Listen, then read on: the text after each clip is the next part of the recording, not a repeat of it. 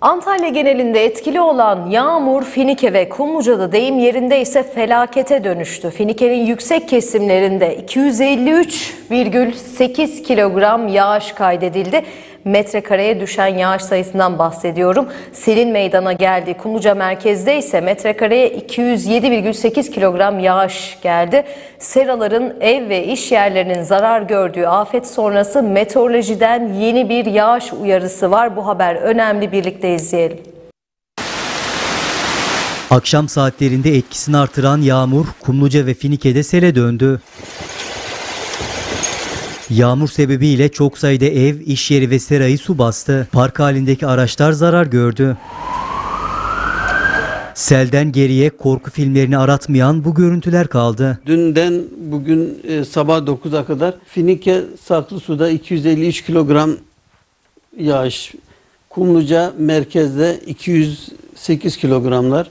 Finike merkezde de 201 kilogram olmak üzere ciddi yağışlar kaydedildi. Sel felaketinin yaşandığı bölgede Kumluca Finike'de şu an için ciddi bir durum yok.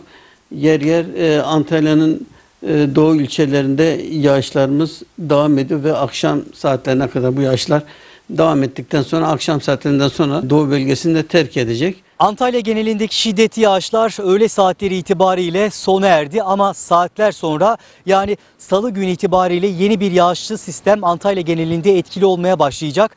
Özellikle doğu bölgelerde etkili olacak bu yağışlı sistemle birlikte metrekareye ortalama 100 kilogramın üzerinde yağış düşmesi öngörülüyor. Batıdan başlamak üzere Finike, Kumluca, Kaş arkasından gece yarısı e, Antalya şehir merkezini ve çarşamba günü de Antalya'nın e, doğu kesimlerini etkilemesi bekleniyor. Meteoroloji 4. Bölge Müdürü Doktor Mehmet Latif Gültekin, toprak suya doyduğu için salı günü etkili olacak yağmurun da olumsuzluklar yaşatabileceğini söylüyor ve uyarıyor. Yarın gelen yağışlar haliyle biraz daha etkili olması bekleniyor. Çünkü yer e, doymuş vaziyette, toprak doymuş vaziyette. Dolayısıyla yarın yağacak yağışlar direkt akışa geçeceğinden dolayı biraz daha tehlike arz etmekte.